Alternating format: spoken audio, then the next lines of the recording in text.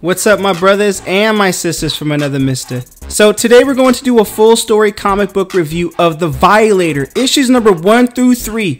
This is where chaos is unleashed, and it's the Violator's battle for survival with his brothers Vindicator, Vandalizer, Vaporizer, and the Facilitator. Before we begin, I gotta go into a little background first. The Violator once had immortality. He most likely betrayed his family of demons in hell, and now they loathe him. They want him God. They desire to harm him. The Violator is a powerful demon from hell with diverse abilities superhuman strength and durability, longevity, just to name a couple. His capacity for shapeshifting, which enables him to switch between the appearances of a human, creepy clown form, and a demon at command, is one of his most renowned powers. Because of his ability to blend in with human culture and surprise his targets, he is particularly a very dangerous foe. Despite his powerful abilities, the Violator is renowned for his severe selfishness and readiness to betray anyone to further his objectives. He is an arrogant little son of a bitch and nasty being that enjoys the pain of others and is prepared to go to tremendous lengths to further his objectives. He's nasty like that. The Violator is one of history's most formidable and dangerous villains, and his cruelty makes him a force to be feared. Anyone who faces him must be ready to deal with a formidable foe who will do whatever it takes to succeed. Violator believes that true devils like himself are superior beings and view death, cruelty, and other types of depravity as forms of amusement. He holds humanity in disdain. Now, here we go into issue number one. The comic's first panel shows the Violator being viewed by his family or brethren in the pits of hell by a blood pool of some sort. Once immortal and strong, the Violator has lost some of his powers and is weak. This has to do with Spawn beginning story arc, which we did cover in this channel, issues number 1 through 5. In short, Malebolgia punishes the Violator for going off script, which throws Malebolgia's plans off script in turmoil. You can check that out after this video for more context. I'll put the link in description and also the playlist at the end of this video. Despite all this, his family feeds the Oracle with human life to keep watching him. The Oracle is unaware of this, though they only think they speak from hell or, you know, some crazy stuff like that. As the narrative progresses, we observe the effects of this feeding on the human victims. They suffer, pass away, and the Oracle devours their souls. As this continues, the Violator's brothers are still watching him and becoming more attracted by his frail condition. As the comic progresses, the Violator struggles to regain his strength and power while his family becomes increasingly obsessed with his downfall. The Oracle too becomes more and more powerful as it consumes more and more human life. The comic as a whole tells a menacing and riveting story about power, passion, and sacrifice. It examines the extent to which some people will go to preserve their supremacy and the toll this can have on those around them.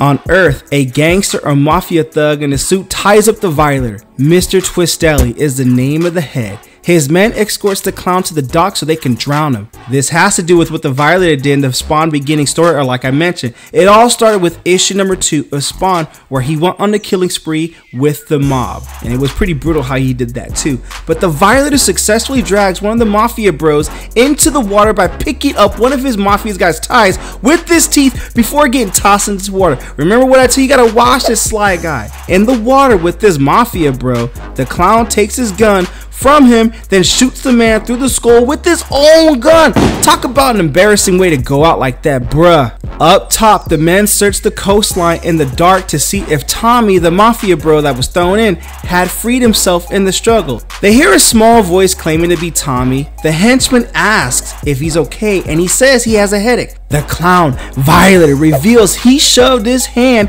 and gun through the back of Tommy's skull and starts wasting the henchman. I mean, Violator sticking the gun through dead Mafia bro's mouth to the end to the other to the other Mafia's brothers is true to form to his character and it's just savagery at its best. The clown's brothers were observing his deeds with the oracles the entire time. The Phlebiac brothers argue as to whether they should help Violator since he's disgraced their name. So they kill an innocent victim of hell to spill more blood into their pool to improve their vision as to what's happening down, down on Earth. In this panel, Twist has Alberto usher in a new bodyguard, a strong looking army man named the Admonisher is employed by Mr. Twistelli, head of the Mafia, to assassinate the Violator. The Admonisher is not endowed with superpowers, he's just endowed with will and some cray cray. He has demonstrated his proficiency with his guns, to Twist surprise to show that he is a master with his weapons. He shows he's the man for the job and now he can begin his hunt. Like the Violator, that clown's ass is his. The Violator is in plain view in the mall, hunting for a hacksaw to remove the head of the Mafia bro that has stuck on his arm. As gory as it is, this is kind of funny, but suddenly the Admonisher emerges and challenges the Violator. People at the mall start to fear and flee as the fighting begins. Clown can't clown around out of his way out of this. You gotta stick up for yourself, bro. Brick up! Not brick up, but stick up for yourself. Clown knows and recognizes that this guy is a pro. The clown becomes slightly worried as he's now mortal and could die. Clown tries to escape and runs away because he is no longer powerful or immortal. The Admonisher continues his mission while an Oracle in Hell keeps tabs on the situation. The Phlebiac brothers understand that if this human wastes this clown, a Phlebiac, yo man, their reputation is ruined so they decide to end the Violator's life themselves. The other Phlebiac brothers believes Clown will come out victorious, so using a human to decide heads or tails, they rip him apart to make their decision.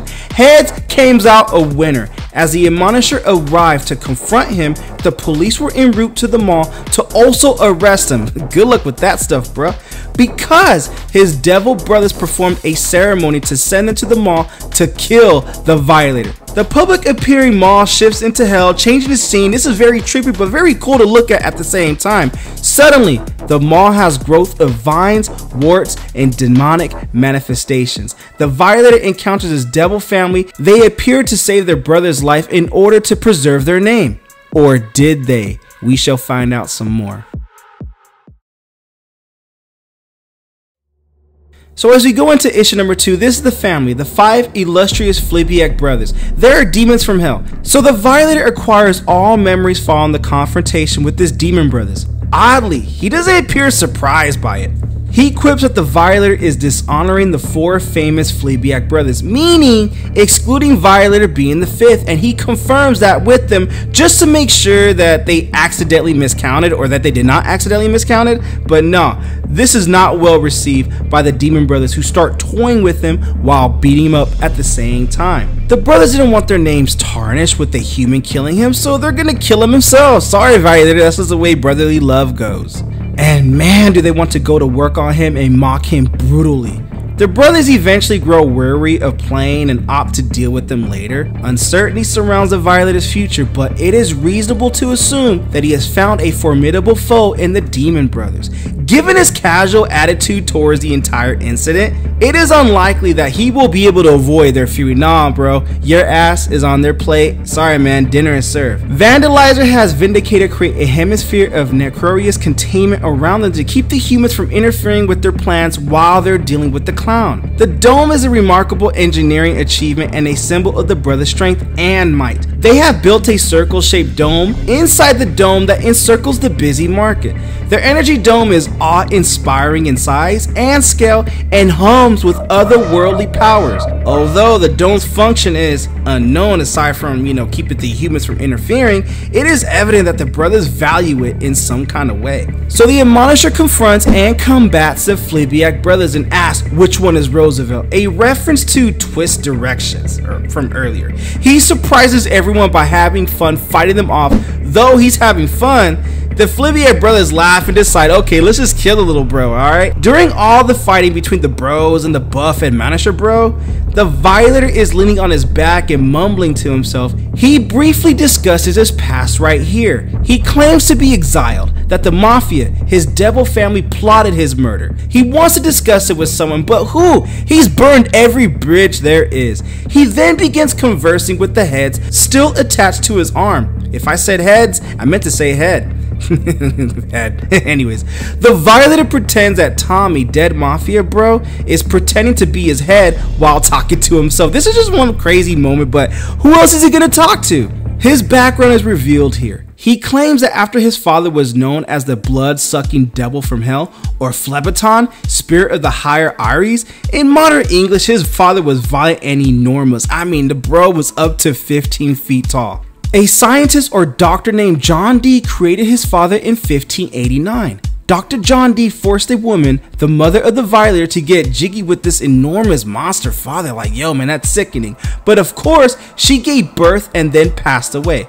So the birth of the Violator, it was the same with his four brothers. None of their mothers did not survive when they were born. He explains how he never got along with his brothers and his dad always took their side. Eventually, he murdered his father and took up the role of the chief lieutenant of Malebolgia's army. The Violator claims he might be acting on his mother's wish to kill his father, or he may be acting subconsciously with the desire to connect with his mother. He hated his father and siblings because he felt they were mistreated. When he set eyes on his brothers, he wished that he was never born. After some thought, he wished his brothers were never born too. His father shared his disappointment with the Violator, so he murdered his father. He claimed that by really killing him, his subconscious desire to murder him was satisfied.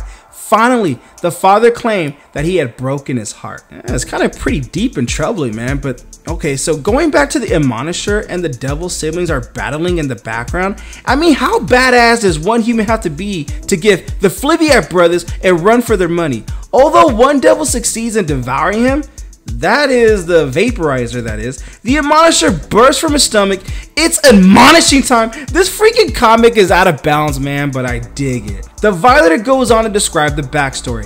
After killing his father, Malebolgia, another demon, employs the brothers to serve under his authority. The chief lieutenant was the infringer. He makes a mistake with Spawn. This took place in Spawn issue number 2 through 4 that led the Violator to be exiled. Like I said, I know I'm promoting those issues here, but this book, this comic ties into those events too. For context speaking, you gotta check it out. Plus, a brother doesn't mind his watch time too. Like and subscribe if you're liking the content so far.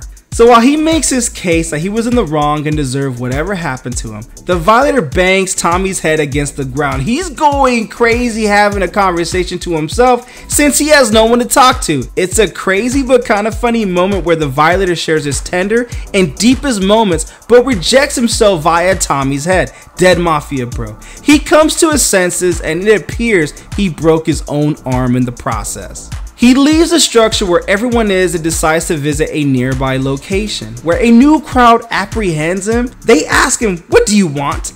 As this is their territory, he's infringing on their property now. He tells them, Hey, I'm here to see your boss. They do just that by humiliating him and picking him up when he sees Spawn, he asks Spawn to help a brother out with his brothers, and you already know the reaction Spawn's about to give. Cause you know, Spawn is like, man, you asking me for help after all the bull jive you put me through? Bruh, that's where we end issue number two of The Violator. So the Violator, after escaping, runs into some mobs who work for Spawn. They took the Violator to him and he asked Spawn for help. The setting shifts. The Violator is taken by Spawn, who then flees after him to meet with him privately at another location. Spawn claims that the Violator has repeatedly attempted to kill him, that he is becoming obnoxious, and that everything occurring in the city is because of him, referencing the dome and all the bull jive that's happening. And he still has the balls, so to speak, to beg him for assistance?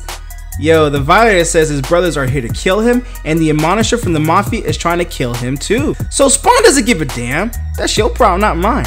But the Violator does some verbal gymnastics and tells Spawn that he's doing Spawn a favor. These guys are messing everything up. There's no way you, Spawn, can handle them by yourself. He asks Spawn to use his magic to give him back his powers. So Spawn says to him, if I use my magic to give you your powers back, you would do more stupid stuff. Plus, Spawn will be drained if he uses his magic to give the Violator his powers back. Given their history, it's to be unwise to say the least. So the Violator claims that fighting his four wicked brothers will be even more exhausting. He tries to persuade him by promising to return his energy once the Malebolgia, his former master curse, is lifted. Moreover, Malebolgia will be furious if Spawn restored the Violator's powers. So Malebolgia revoked his powers and held a grudge against Spawn. So Spawn asks if the Violator will fix or restore his power levels if he turns him into a demon again. The Violator is like, yes, and both agree. Even as a reader with what I mentioned before with my brief history of the two, I already know this is not going to be good. So Spawn uses his magic power to give the Violator his powers back. The Violator transforms and he feels different and has flames on the palms of both hands. He knows it worked and he feels he can switch back and forth to his form. The Violator, nasty demon form to take on his brothers. On the other hand, Spawn is weak, exhausted, and on his knees pleading with the Violator to remember the promise while the Violator is pleased. So, okay, so the Violator is like, okay, yeah, okay, I'll go and restore your powers back. And kick Spawn out of the building. They were both at the top of the building when transforming his powers. Did you expect this to play out any different? But just saying, but at the same time, this is kind of funny. In this panel here, his brothers are engaged in combat with the Admonisher, so the Violator decides to return. They are both still involved in the battle with no apparent one. Yo, how in the hell this Admonisher guy still giving them a run for their money? I'm just saying. So the Violator, always having a slicky plan, lies down where his brothers left him after thrashing his ass, acting like he hadn't moved. So when one brother, the Vandalizer, goes back to check on him, he's still liner, so obviously the trap was set. The sibling takes him by the neck and discusses how he should be killed. So his own head thinking about all the different ways to kill the Violator is distracting him and that's okay, it works to the Violator's favor. So the Violator changes into a real demon, adopting a new appearance resembling that of his devil brethren and slashes the hand of the brother who was holding him by the neck, taunts him, mocks him, then the Violator throws the hands aside. The brothers are ready to fight and exchange words before getting into it. Now, before we go any further, if you're liking the content, don't forget to like and subscribe to this channel. Also, don't forget to check out ratedcomics.com for some really cool comics and limited print comic exclusives to add to your comic book collection. Now we go back into the content. So the Vandalizer is quickly defeated by the Violator, who then pulls off his head. To vent his rage, the Violator repeatedly bangs his skull. As gory as it is, yo man, it's dark humor that just works in my opinion, man. Vandalizer has had enough and says the word uncle. Tony Twist and Albert appear to check on Admonisher's progress. As the Violator sees the Mafia boss and one of his men watching them fight, the Violator spots them and he chases him. The Mafia boss and his men enter a store and lock the doors to protect themselves. The Violator breaks into the store because they're just after the Mafia chief. By switching the outfits with the Mafia man, the head of the Mafia tricks the Violator into thinking that he is the man. Tony Twist and then escapes. Like, you ain't taking my life. Tony Twist made the switcheroo, and Violator can't tell the difference because Tony Twist is the mafia brother that the Violator wanted dead from the events of Spawn issue number two, where Violator ripped hearts out of his men. As to why he did that, there's more to it than what we're gonna go into, but you can find all that out in Spawn Beginnings. Of course, a brother would like you to watch. I'm just saying, even if you watched it before, I like you to watch it again. The Admonisher Rambo Arnold Schwarzenegger man is lost while the Demon Brothers summon a Hellgate to escape. They first search the area for their brother, Vandalizer, who the Violator had killed. They find his body destroyed and conclude that their brother has defeated him. They figured it was a lucky punch because they're still under the impression that he can't transform. So yeah, the trick's on them. So they witness the Violator leaving the store in human clown form. The Violator escapes the Demon Brothers' grasp and enters the Hell Gate they summoned. This is pretty wild and crazy entertaining. So after snatching the dead brother's body, the Devil Phlebiac brothers enter. The Admonisher approaches from behind and assaults them after the Hellgate vanishes. Everyone is caught off guard by the surprise attack and chaos results. This is so 90s where he says, leaving without me? Eh? I strongly admonish you to reconsider Surprise! The Phlebiac brothers, Vindicator, Vandalizer, Vaporizer, who's beaten, and Vacillator swiftly reassemble and prepare to fight the Admonisher. The Admonisher enters the conflict as it is still in progress. No fear, no pain, no gain. The brothers became more resolute in their fight due to his presence. The mob boss, Twistelli, is revealed to be the real villain as the struggle climaxes. The Violator used Alberto thinking he was Tony Twist. As bait disguised as the Violator, he knew his brothers wouldn't be able to tell one human apart from another. Ironically, neither could the Violator be earlier, but it's a pretty good twist for the plot twist. Maybe that pun didn't work, but hey, I had to give it a shot. Everyone is shocked by the discovery, and the Devil's brethren feel betrayed by Twistelli. Despite this, they keep fighting with all their strength, determined to hold the Violator accountable. Hellgate is permanently shut. We get this monologue that out from the chambers up towards the stars, he hears a million heartbeats from the buildings far below. He cannot prevent a flood of luminous saliva gushing from between his fangs. The planet and his sleeping hearts are spread before him tonight, and the enemies of mankind that there be, by far the worst has come to roost. While brethren of the Phlebiac brothers, the violator can now rest easy knowing that justice has been done. Twistelli's betrayal will never be forgotten. And that is the end of the Violator issues number one through three full story. What you guys think of the comic book? Comment below, let me know. I thought this was wildly entertaining, gory, and fun to read, and I hope you had fun reading it too. Links in description if you wish to add this comic book and or some of our other rated comics exclusives to your comic book collection. Support the art, support the industry. Lastly, this review is sponsored by coffee, so if you'd like to buy a boy a cup of coffee, link in description or donate to the Super Thanks. But the greatest compliment you guys can do is by liking this video and subscribing to Rated Comics YouTube channel. Thank you again for watching.